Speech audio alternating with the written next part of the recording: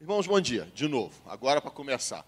É, hoje nós vamos estar falando um pouquinho do, do papel do Estado, né, essa figura é, impoluta que a gente não sabe o que é, onde começa, onde termina, e o que, que aconteceu historicamente para nós chegarmos aonde nós estamos como é, país e o nosso modelo de construção política que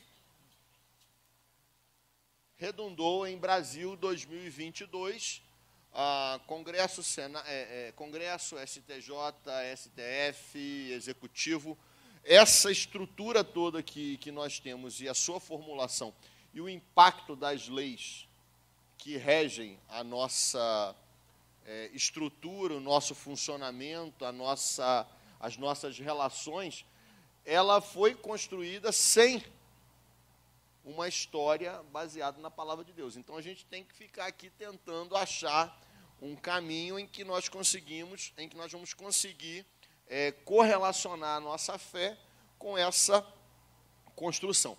Eu queria começar com um texto que me chama muito a atenção, muito interessante, que é o texto de Isaías, capítulo 31.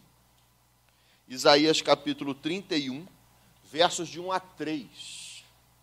E o texto diz assim: Ai dos que descem ao Egito em busca de ajuda, que contam com cavalos. Eles confiam na multidão dos seus carros e na grande força dos seus cavaleiros, mas não olham para o Santo de Israel, nem buscam a ajuda que vem do Senhor. Contudo, ele também é sábio e pode trazer a desgraça. Ele não volta atrás em suas palavras. Ele se levantará contra a casa dos perversos, contra quem ajuda os maus. Mas os egípcios são homens e não Deus. Seus cavalos são carne e não espírito. Quando o Senhor estender a mão, aquele que ajuda tropeçará, aquele que é ajudado cairá. Ambos perecerão juntos. Esse texto, ele também aparece e eu queria reler ele na nova linguagem de hoje, que seria o texto como a gente poderia ter mais coloquial possível. E ele fala assim, na tradução, nova tradução na linguagem de hoje. Há dos que vão para o Egito procurando ajuda. Eles confiam num povo que tem muitos cavalos e carros de guerra, num país que tem cavaleiros valentes, mas não confiam no santo Deus de Israel, não pedem ajuda ao Senhor. Porém, o Senhor é sábio e sabe fazer com que a desgraça venha. Ele sempre cumpre o que promete. Por isso, ele ficará contra os que praticam o mal, contra todos os que ajudam as pessoas perversas. Os egípcios não são deuses. Eles são apenas seres humanos. E os seus cavalos são apenas animais mortais. Não são espíritos imortais. E quando o Senhor levantar a mão para castigá-lo, todos cairão mortos de uma só vez. Tanto o Egito, a nação forte, como Judá, a nação fraca. Isaías é um, um, texto difícil, seria muito interessante o pastor, assim que terminar Hebreus, começar Isaías. Seria muito bom para ajudar a gente a entender algumas questões. Ah, essa passagem, o autor traz algumas coisas muito, muito curiosas. E uma delas, logo no versículo 1, é quando ele usa a expressão é, permitir o mal. Ah, há uma palavra hebraica chamada ra, que não está correlacionada a mal moral, mas o mal de alguma ação ou de algum tipo de infortúnio. Por exemplo, bateu com o carro. Deus permite que essas coisas aconteçam. Poxa, mas Deus não vai me proteger? Segundo os propósitos dele, sim e não. Se fosse assim, não aconteceria nenhum problema. A gente não ficaria doente, a gente não bateria o carro, não teria vazamento na nossa casa, a, a comida não acabaria no dia 20, quando o pagamento é só dia 30. Então, nós sabemos que determinadas coisas acontecem. E a, o próprio Jesus chamou a atenção e disse que a chuva vem para quem? Para os bons e maus, para os justos e injustos. E isso é muito interessante porque faz com que a gente tenha um entendimento de que o que acontece no mundo, ele não acontece em prol ou contra. As coisas não são ao meu, a meu favor e nem o mundo conspira contra a gente. Isso é muito significativo e isso é muito importante de ser entendido e eu quero desenvolver isso ao longo do, do trajeto dessa, dessa aula. Mas eu queria que a gente pensasse um pouquinho o seguinte: como é que surge o conceito de Estado? Ah, o Estado é definido como um poder político centralizado e exercido sobre um povo, localizado em um território delimitado.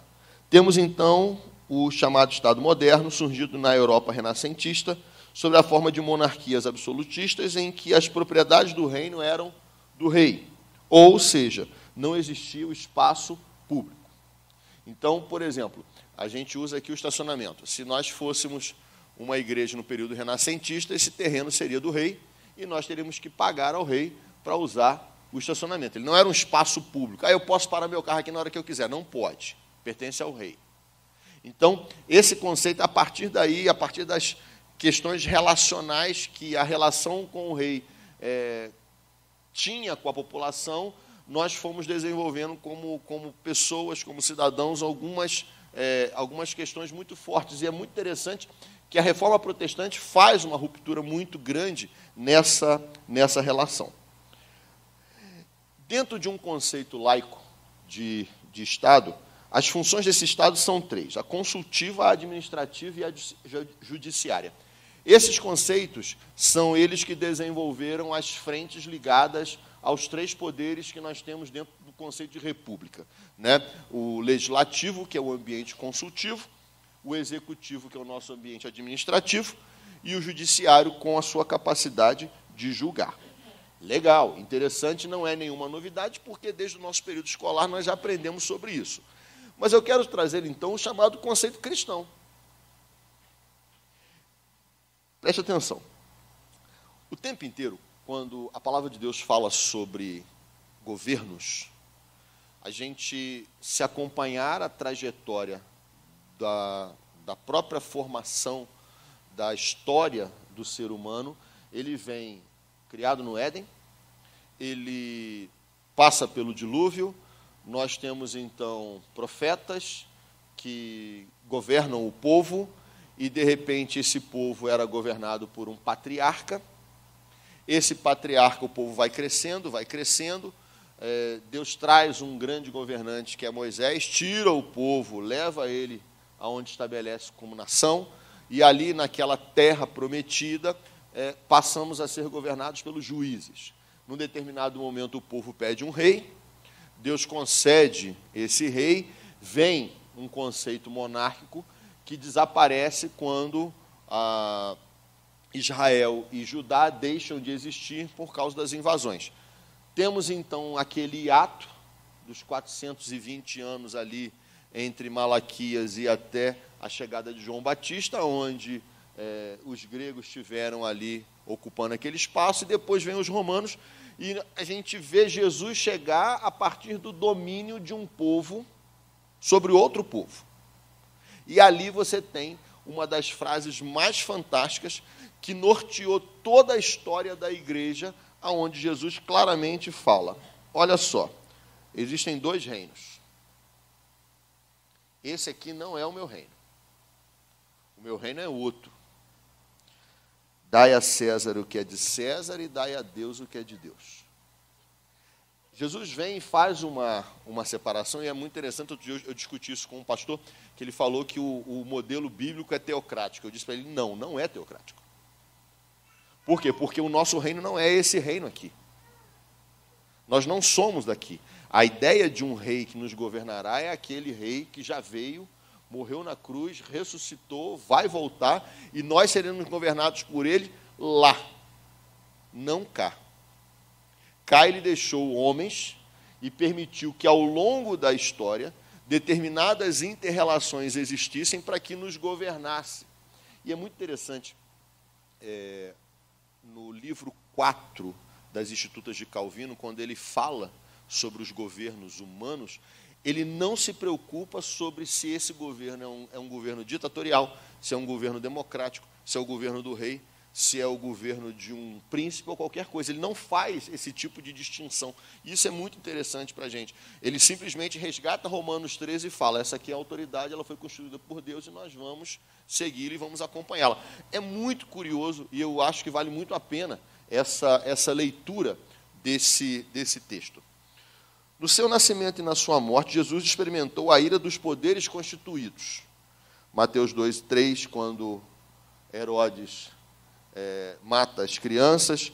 É, nós temos depois a própria ação dele ser preso por um, é, por um tribunal romano e depois ser julgado dentro desse tribunal romano. Porém, o seu maior conflito foi com o sistema religioso e não com o sistema político. Olha que interessante, irmãos. A briga de Jesus não era com política. A briga de Jesus não era sobre quem era o governante. A briga de Jesus não era sobre que tipo de governo estava sendo exercido. A briga dele era com quem? Era com os da casa de Israel, com os próprios judeus, com aqueles que administravam e que não conseguiam enxergar que ele era o Messias. Não havia esse tipo de disputa. E eu acho muito interessante que a história ela é e o tempo, pastor Fábio, é um santo remédio. Nós passamos pelo dia 3 de outubro e o mundo não acabou. Alguém vai dizer assim: o mundo ainda não acabou. Eu quero dizer para vocês que irmãos nossos passaram pela Segunda Guerra e passaram pela Alemanha nazista. Irmãos nossos brasileiros passaram pelo governo Getúlio Vargas. Irmãos nossos passaram por N outros momentos e a gente chegou até aqui. Porque quem cuida de nós é aquele que é o dono de todas as coisas. Perceberam por quê? Eu não tenho ficado nervoso com essas questões. Às vezes elas são para mim até motivo de piada. Por quê? Porque a gente às vezes está usando ou está se fiando no cavalo no cavaleiro, ou na estrutura que existe, ou nas leis, ou nos segmentos, ou em um homem, ou em dois homens, ou em governos, e percebam que esse tempo vai acabar uma hora e a igreja do Senhor permanece até o dia da volta dele. Isso é muito importante que a gente tenha isso como sedimento. Esse conceito, ele é o basilar de todo o nosso desenvolvimento. Ele não é por causa da política A, da política B ou da política C. Nós temos que tentar entender que isso está presente na nossa rotina diária como cidadãos até o dia que nós é, formos embora, enquanto estivermos nesse tempo, isso vai fazer parte, mas não é isso que tira o nosso sono ou que rouba a nossa paz. Percebam que existem coisas muito mais significativas e Jesus traz essa significância para a gente. Né?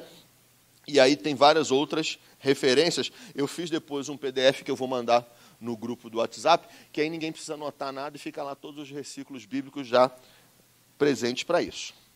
E aí vem uma coisa que eu queria trazer: o conceito de Estado e autoridade em João Calvino. Calvino fala que Deus é a única autoridade absoluta e incondicional. Ele possui o poder. E aí ele usa a palavra império. Ele possui o maestas, que é a majestade, e ele possui o puissance, que é o poder. Toda autoridade legítima, ela não é própria, ela é derivada. Interessante você pensar isso. Toda autoridade ela é derivada, ela não é própria. Significa que só existe aquela autoridade porque Deus assim a colocou. Ah, eu sou um carioca que morei em Minas, passei por São Paulo, cheguei aqui. Aí agora tem aqui um governador que vai durar quatro anos, daqui a pouco tem outro. E depois, se eu ficar aqui dez anos, eu talvez pegue um terceiro. E se eu ficar 15 anos, eu vou pegar um quarto ou um quinto. Todos eles derivados daquele que é o dono de todas as coisas. Ah, posso confessar um pecado? Só um. Só um. O reverendo Fábio deixou fazer só um. É, 1989, Éramos adolescentes, eu e a Sandra, morávamos em Juiz de Fora, e era fantástico, porque todos os candidatos a presidente iam a Juiz de Fora fazer campanha.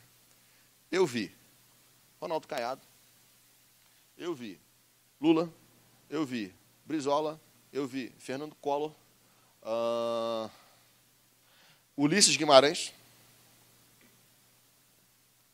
E fui em todos os comícios. Por quê? Porque a gente nunca tinha visto aquilo. Era uma novidade. Interessantíssimo. E a gente ia para os comícios e anotava nos caderninhos o que, que o pessoal falou para a gente poder depois discutir na faculdade o que, que a gente arrumava com aquela história. Ah, mas fulano, pô, que coisa bacana. Ah, mas, nossa, que coisa ruim. Passou aquele período, passou o outro, passou o outro e passou mais um. Aí eu faço uma autoanálise. Deus me deu uma esposa, naquela época foi uma namorada, depois me deu duas filhas, me deu um emprego, me deu condição de sustentar minha casa, e esses governos passaram. Fui diácono na igreja, fui presbítero, fui presidente de presbitério, fui presidente de sínodo, fui secretário de mocidade, e os governantes passaram. Percebam que quando você olha para a história, isso não nos governa, isso não nos delimita, isso não nos prende, isso não nos concentra.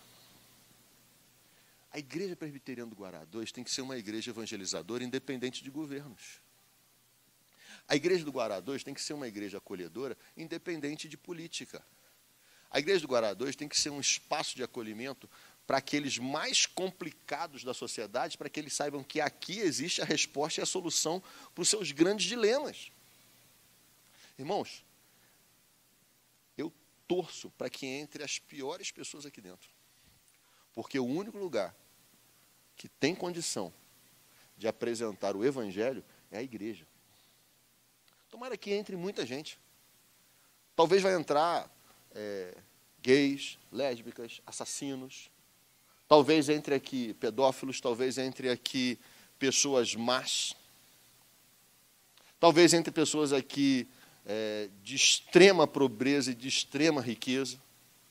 A única coisa que transforma realmente o coração do ser humano é a cruz.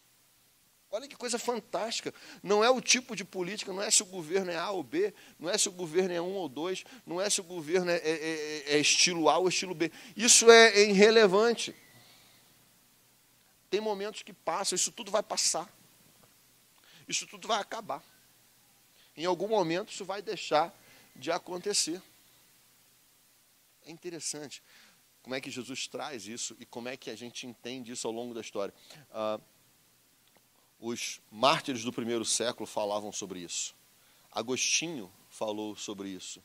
Os mártires do século 100, século, desculpa, do século 10, século 11, século 12 falaram isso. Os reformadores no século 15, 16 falaram a mesma coisa. Os pastores de hoje estão falando exatamente a mesma coisa. Não se fie nesse tipo de coisa. É muito legal de nós pensarmos que essa, essa é a visão que eu tenho que olhar para o Estado. E aí eu quero que você pense, eu vou mais um pouquinho, dos, um dos conceitos mais interessantes. A soberania do Deus triuno sobre todo o cosmos, em todas as suas esferas e reinos, visíveis e invisíveis. Uma soberania primordial, que irradia-se na humanidade numa tríplice supremacia derivada. A soberania do Estado, na sociedade e a soberania da Igreja. E aí eu quero que você pense. O Estado ele tem um espaço de ação. A sociedade tem um espaço de ação. Tem uma outra, tem uma outra esfera.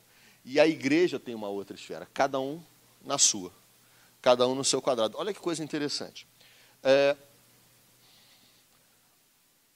pensem bem. Podemos ter a polícia da igreja do Guará 2? E aí, Fábio, o que você acha? Delegado Fábio. Deixou de ser pastor, virou delegado. É... Comandante Heitor. Vai ser do BOP. Com esse físico todo dele, essa altura toda. Né? Forte e tal. Podemos abrir aqui uma polícia militar? Podemos abrir aqui uma polícia civil? Podemos ter uma cadeia aqui dentro? porque essa esfera não nos pertence. Perceberam? Cada um no seu quadrado. Quem vai fazer isso? O Estado. Podemos ter aqui um posto de saúde? Podemos. Mas podemos montar aqui um hospital? É hospital, deixa de ser igreja. Ele é um instrumento de saúde pública. Então, existem fatores, existem é, espaços, e é isso que Abraham Kuyper fala, que são as chamadas esferas de ação. Se a gente entender claramente quais são as esferas de ação, nós vamos entender claramente qual é o papel do Estado, qual é o papel da igreja e qual é o papel da sociedade. Olha que coisa interessante. Cada um ocupando uma determinada área. E, e, isso é muito forte em Calvino quando ele provoca essa separação muito grande entre igreja e Estado, e eu, da qual sou um profundo e ferrenho defensor. Não quero o Estado dizendo como a igreja vai efetuar as suas ações. E não devemos dizer para o Estado como ele funciona. A confissão de fé diz que nós só falamos para o Estado quando nós somos convidados pelo magistrado civil. Olha que coisa interessante. A igreja está dando muita opinião, reverendo. A igreja está dando muita opinião, Heitor. E nós não fomos chamados para isso. O Estado não chamou assim, eu quero ouvir a igreja do Guará 2 sobre políticas públicas. Ela nunca nos convidou. Então, se ela não nos convidou, nós não temos que dar opinião sobre isso. Como instituição. Estão entendendo a diferença? Como cidadão, ele vai dar opinião. Como cidadão, você vai dar a sua opinião. Agora, nós, como instituição, não. A igreja não se mete e não se imiscuia nas coisas do Estado. Porque nós não queremos que o Estado diga para a gente sobre que tipo de casamento o reverendo Fábio vai fazer. Nós não queremos que o Estado diga qual é o tipo de membro que nós vamos aceitar aqui. Nós não vamos admitir que o Estado diga que hora que nós vamos fazer o nosso culto. Essa é uma prerrogativa da nossa esfera de ação.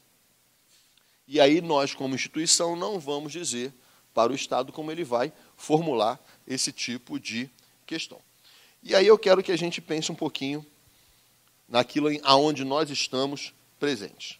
Né? A soberania na sociedade, que seria o grande, o grande ponto é, que nós devemos ter como referência.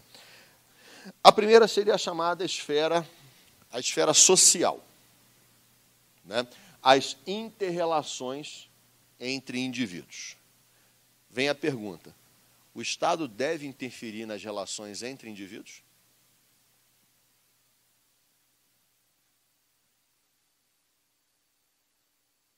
O que você acha, Miquel? O Estado deve interferir nas relações entre indivíduos?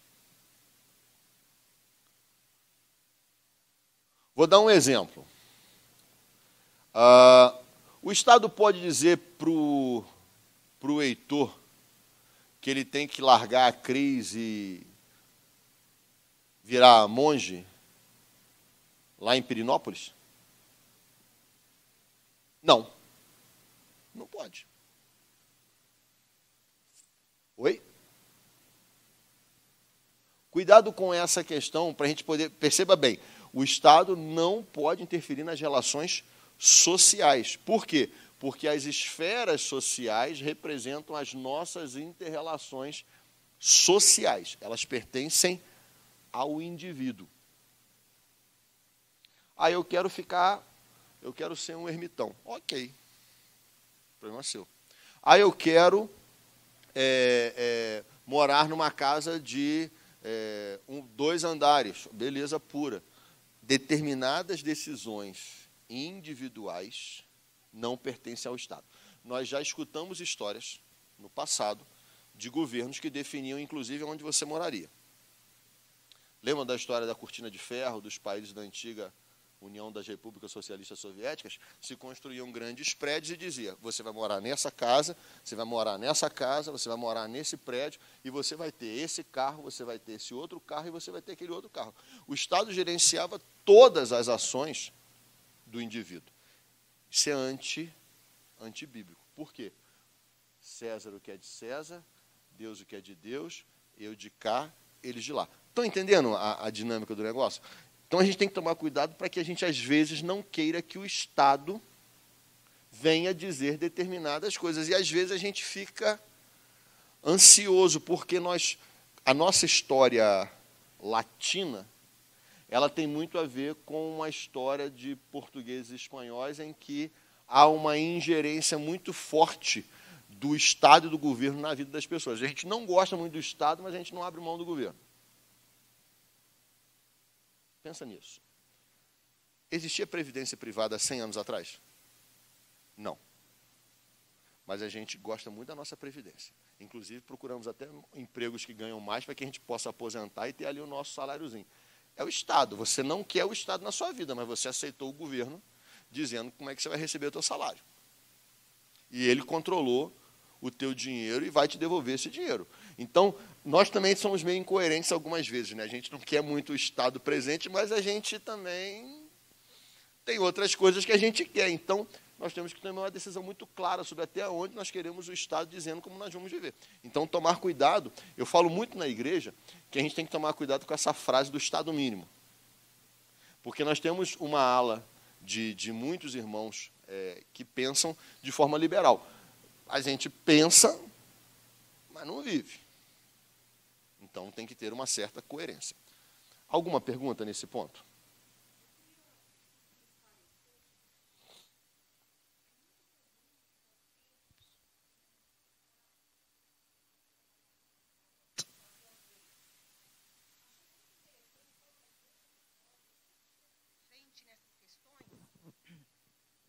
É, a Igreja Católica sempre se fez presente nas questões e debates, como, por exemplo, o aborto. E eu sempre me questionei, Deus, por que nós cristãos que temos a palavra de Deus não tomamos, pelo menos eu nunca vi, como igreja do Senhor, ninguém se posicionando na Câmara Federal como representante da igreja evangélica, claro, não gosto nem desse termo igreja evangélica, é, mas como cristão, que é o que nos representa, é, falando dos princípios que, como sociedade, nós deveríamos repensar como era o papel em questão nos debates. Trago essa questão, que é a questão da vida. Mas trago também outras questões, como a do meio ambiente, que Deus nos deixou responsáveis pela, pelo cuidado da terra. Também nunca vi a nossa igreja se posicionando a respeito desse cuidado. Pergunto: será que nós estávamos sendo omissos ou nós estaríamos aguardando a convocação para nos posicionarmos diante dessas questões que nos aflige como cidadãos desse tempo? Tem um, um, um sociólogo brasileiro chamado Gilberto Freire que escreveu um livro chamado Casa Grande Senzala. Casa Grande Senzala traz uma, uma, uma percepção nossa muito forte em que os detentores de poder econômico governavam essas questões. E esse poder econômico sempre ficou misturado no Brasil colônia entre a igreja e os primeiros grandes é, empresários e grandes produtores de terra. Então, os padres sempre eram convidados. Então, a nossa história política sempre foi de trazer a igreja para essas discussões e nunca a igreja evangélica para essas discussões. Com a, a virada década de 40, década de 50, que começam a chegar os primeiros evangélicos em determinadas posições é, de autoridade no Brasil, começa a ser chamado alguns para participar de algumas dessas discussões. E é essa talvez seja o, o, a utilização do momento. Nós temos que estar prontos para esse chamado. Nós temos o que dizer. Nós temos muita coisa para dizer sobre N assuntos muitos deles. Mas como é que a gente pode fazer isso? Quando nós temos bons representantes lá que nos convocam, que nos conclamam a estar presentes. Lembra da discussão do aborto de anencéfalos que chegou ao STF? A, IPB entrou como. A, amigos da corte tem uma palavra para isso do latim. Amicus curis. É isso mesmo? Isso. E naquele momento, naquele momento, ah, quem veio para poder participar do debate foi o doutor Augustus. O reverendo Roberto me ligou, mandou comprar uma passagem e eu vim para Brasília também naquela, naquela mesma semana para dar ele um apoio como biólogo na questão biológica, se fosse necessário. Então, nós participamos, estávamos presentes para estar aqui, e aí, naquele momento, a ministra Carmen Lúcia suspendeu a, audiência pública. Não sei se alguém vai lembrar um pouco da história dessa situação. Ela aconteceu naquele momento, foi suspensa e nós não chegamos a nos manifestar.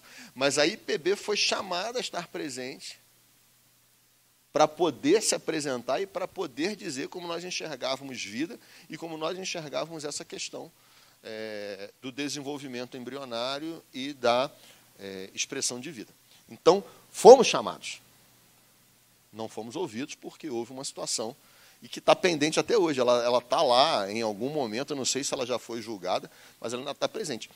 Nós temos que estar prontos para dizer. E eu acho que casos como uma antiga funcionária do legislativo, outros que podem estar aqui presentes, devem ser os agentes mediadores para que nós possamos, possamos ser ouvidos, porque tem muita gente expert, tem muita gente boa no nosso meio como igreja, para poder se apresentar e dizer coisas sobre essas questões. Né? E, e eu acho que a gente vai ser chamado mais vezes agora. E eu espero que possamos ser chamados, porque a gente tem o que dizer. Temos que estar prontos. Temos que estar prontos. Repare o segundo ponto. A esfera corporativa. Aqui veio o, o termo que o próprio Kuiper usou, né?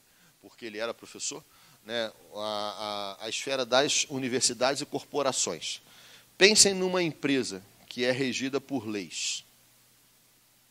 Pensem que essa empresa ela tem que sofrer a menor interferência possível do Estado para que as suas próprias regras se expressem naquela, naquela condição ou naquele negócio.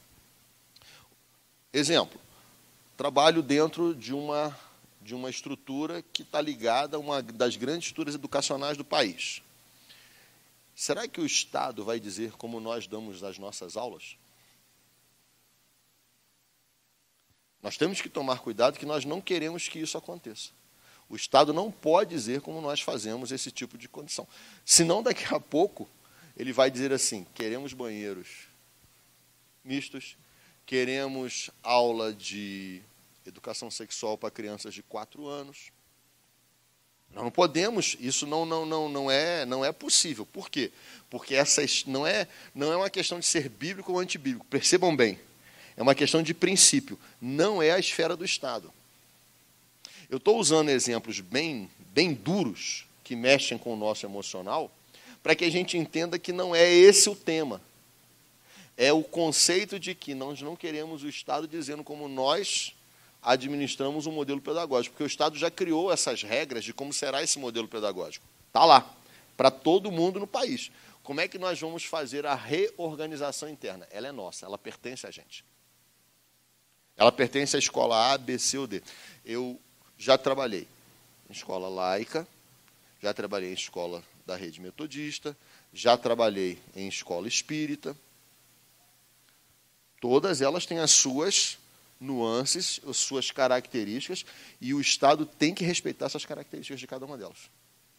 Porque se a gente pensar só em nós como evangélicos ou cristãos, a gente fica meio que fechado dentro do nosso do nosso do nosso arraial. Não, não, não. O Estado não pode dizer como por quê? Porque aí você individualmente pode dizer, eu quero aquela escola, eu quero aquele espaço, eu quero aquilo para o meu filho. Não quero isso para o meu filho, não quero esse local para ele, não quero essa condição para ele. É muito interessante. Eu gosto muito dessa, dessa, dessa formulação teórica do conceito. Por quê? Porque ele vai servir para aplicar para qualquer tipo de exemplo. Empresas. Né? Uh, hoje eu estava lendo um caso interessante de manhã cedo a American Airlines produziu um Golden Ticket na década de 80, em que se você comprasse aquele Golden Ticket, você teria passagens ilimitadas até morrer de primeira classe. Ela vende isso na década de 80, 1986. Ela não imaginava, ela olhou para aquele modelo daquele ano, dizendo assim: não, daqui a pouco o cara morre cedo, ou ele não vai viajar tanto assim. Só que eles esqueceram de colocar na cláusula que eu, que eu não deveria ser, minto, que eu seria obrigatoriamente o viajante, eu não poderia ceder a minha passagem. E aí a, a história era a briga na justiça do empresário que comprou e que fez mais de 10 mil viagens pela American Airlines. O que, que ele fazia? Ih, a moça minha vizinha está doente. passagem para ela, primeira classe. Ah, fulano de tal quer conhecer o Caribe. Vem cá, passagem para o cara. Ele doava as passagens dele e ia, logicamente que a empresa chegou um momento que ela falou, acabou esse, essa questão. E eu fiquei pensando na sacada, Heitor, da questão jurídica americana e brasileira. Lá eles acabaram com o processo, acabou, foi encerrado e foi encerrado, não tinha direito adquirido. Se fosse no Brasil, ele teria esse direito e ficaria até ele morrer, porque não posso mexer ou retroagir, tirar alguma coisa que ele ganhou. E eu fiquei assim: será que uma coisa é justa ou injusta? Eu fiquei me perguntando agora de manhã, na hora que eu vim para cá: isso era justo ou injusto? Justo com a empresa? Com certeza não. Porque ele usava outras pessoas e não ele para poder fazer essa viagem. Justa com o cara? Bem, prometeram para ele alguma coisa, então ele, ninguém disse que não podia ter outra pessoa, então vale aquela coisa. Só que depois me veio à mente essa nossa natureza latina de esticar o raciocínio. Era óbvio que a passagem era para quem? Para ele. Não era para os outras, não era para as outras pessoas. Ele deu o famoso jeitinho nacional, né? Tipicamente lei de Gerson. Não tá, eu sei, é, mas fica aqui, sabe aquelas coisas que ficam assim na nossa cabeça? Será que eu estou sendo justo? Será que eu estou sendo injusto? Literal, né? Uhum. Mas é, é, é, sabe o que eu gosto de pensar? Porque isso me dá uma margem de, de até onde a nossa ética pessoal pode ir. Esse é um grande desafio nosso como pessoa. A lei permite, ok, mas será que está certo? Será que é bom? Será que dá bom testemunho? Será que isso edifica? Será que traz boa fama? Será que traz alguma coisa que vai ser de referência para espelhar Jesus Cristo? Será que Jesus faria isso?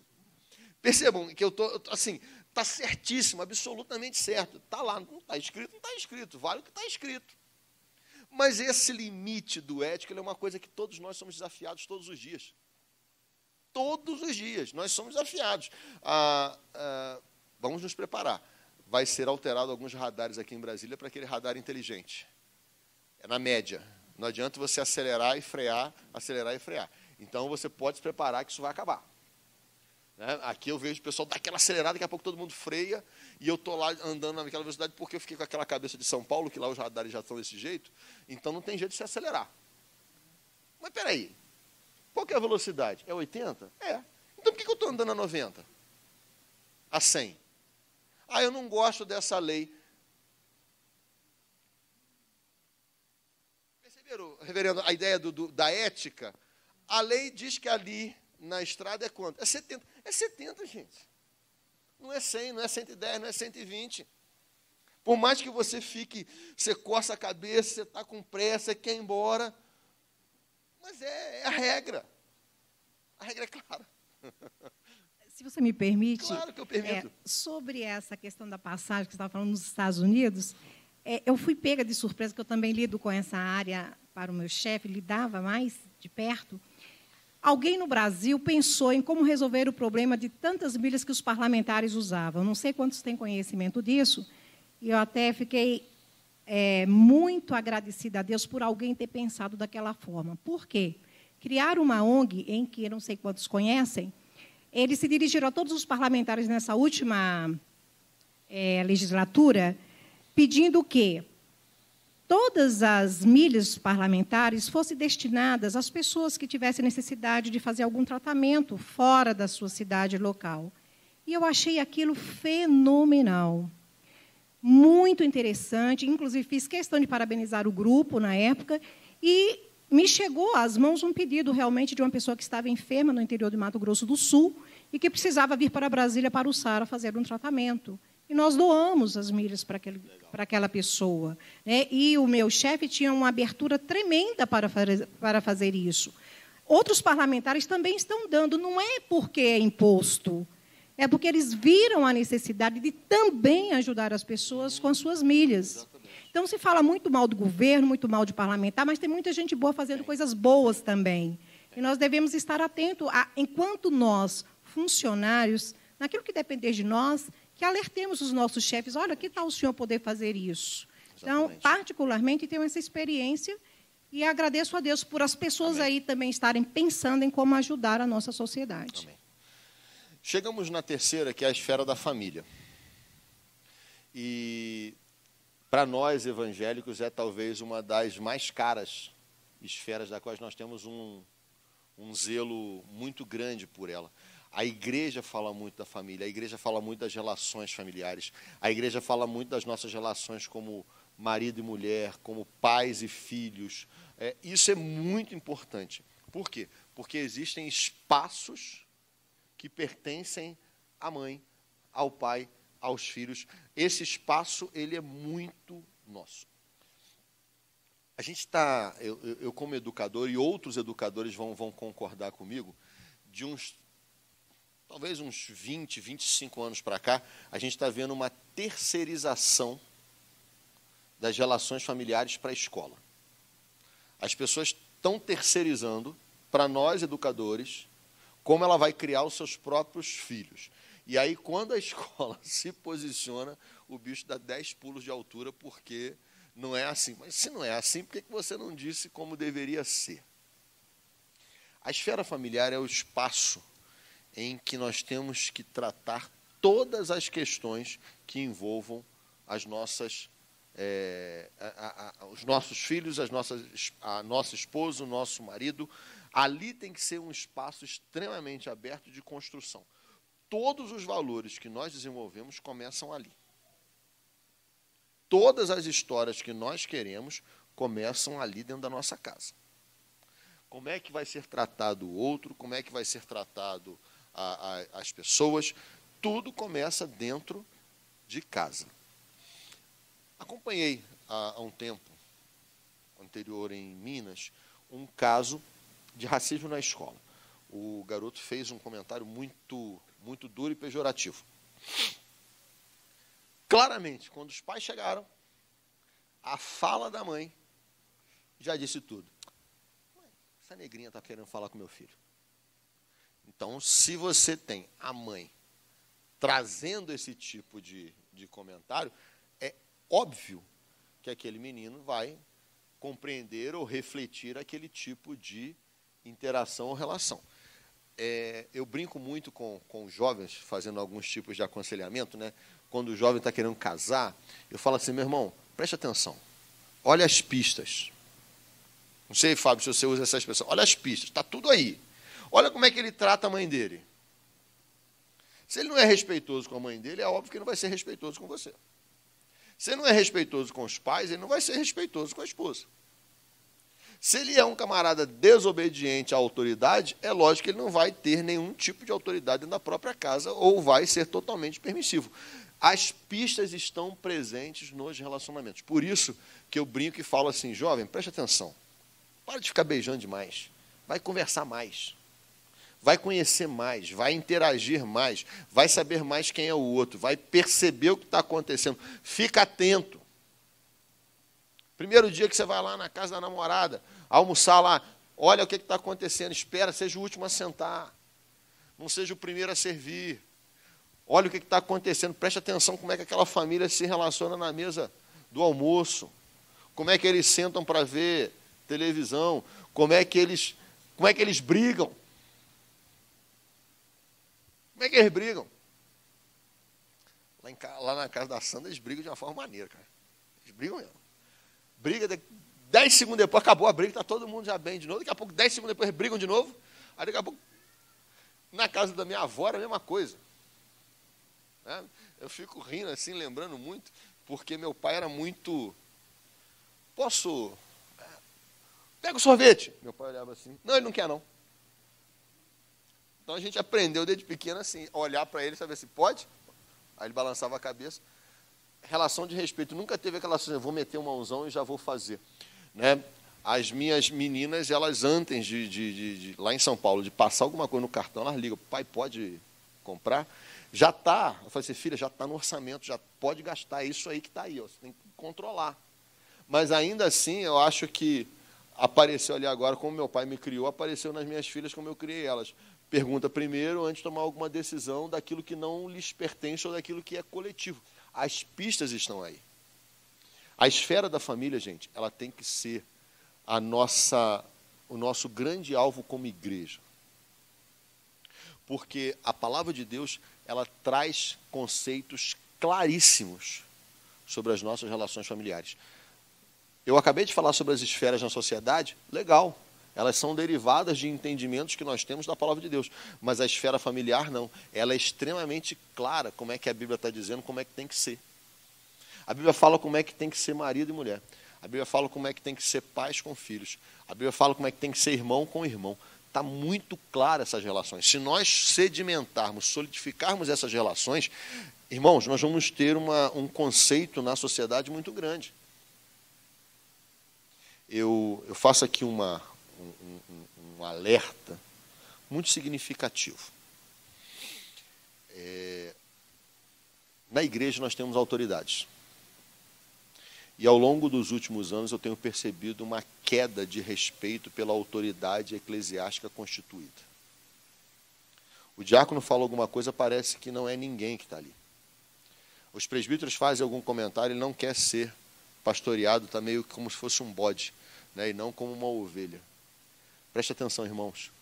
As autoridades constituídas da igreja são reconhecidas por nós, pais, que ensinamos isso aos nossos filhos. Nós estamos falando de conceitos políticos, né, de respeito às autoridades é, é, é, eleitas, mas a gente não está conseguindo fazer com que os nossos filhos respeitem as autoridades no domingo, todos os dias, quando a gente está aqui. Pensem que se a gente não consegue enxergar o micro, nós não vamos conseguir exercer e enxergar no macro.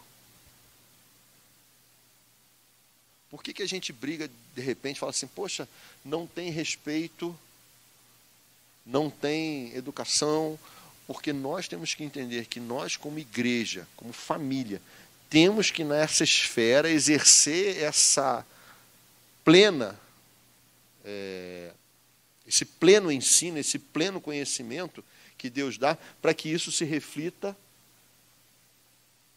nas estruturas derivadas.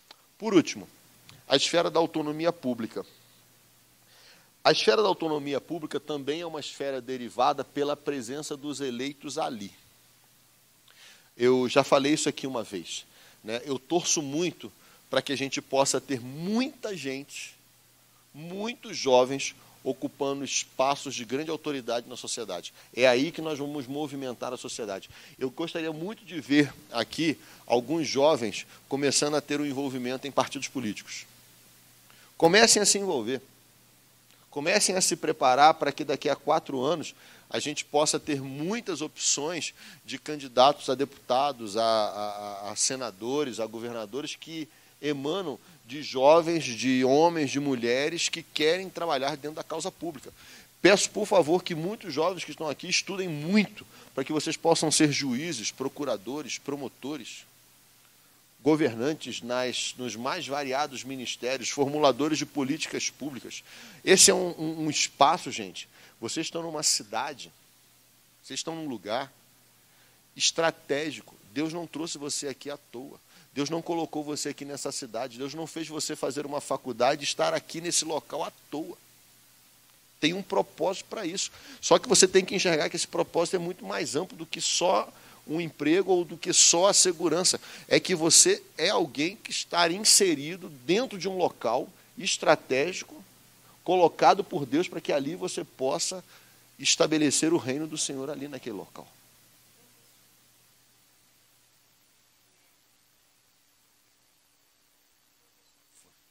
Use esse aqui. Eu diria aos pais o seguinte: não espere o seu filho ficar jovem.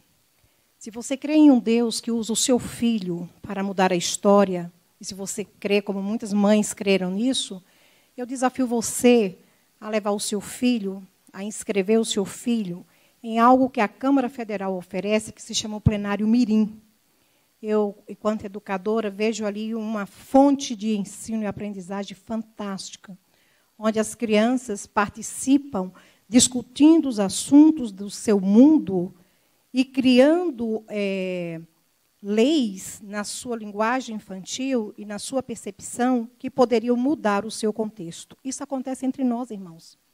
Então, muitas vezes a gente não tem conhecimento que nós, enquanto crianças, ainda podemos influenciar. E aquilo lá está dando um retorno fantástico para os mais velhos repensarem as leis que eles estão criando.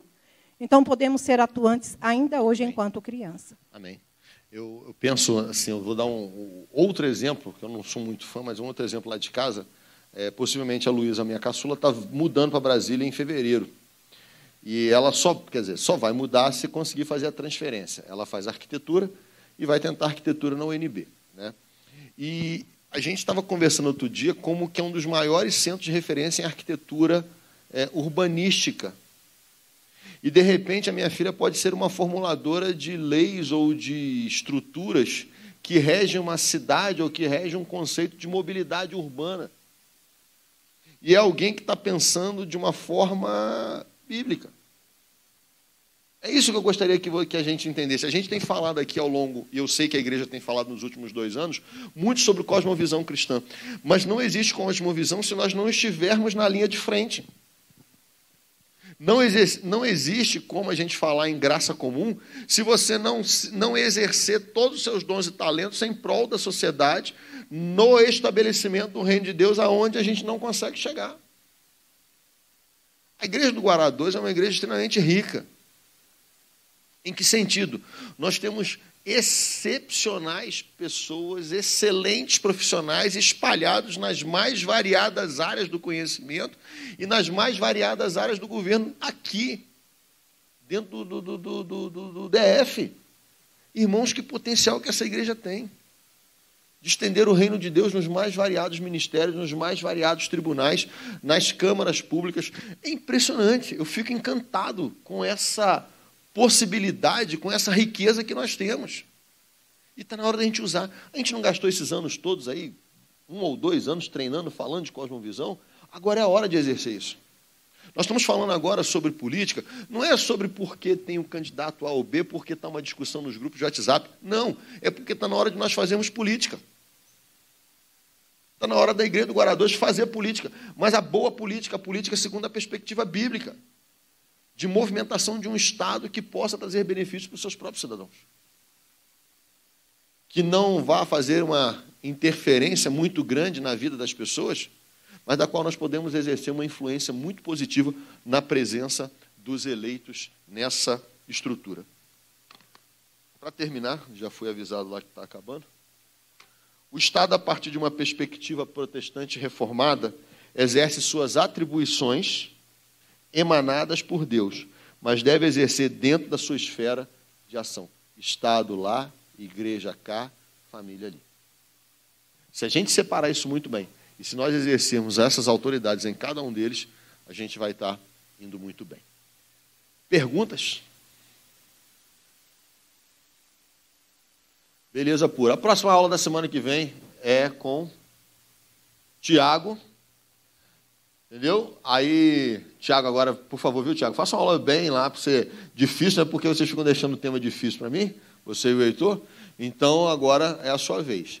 Que Deus te dê uma manhã abençoada, um almoço caprichado, daquele que deixa você assim com água na boca eu vou confessar, tem um pudim me esperando, que é o melhor doce de todos, é o pudim, né? e que possamos aqui exercer, expressar, estender a glória de Deus. Essa é a motivação. A gente está aqui falando de alguns conceitos, não é só para que isso seja uma teoria na nossa mente, é para que isso possa ser é, a extensão do reino de Deus aonde a gente está. Rolando, faz uma oração para a gente aí. Bem alto, bem forte.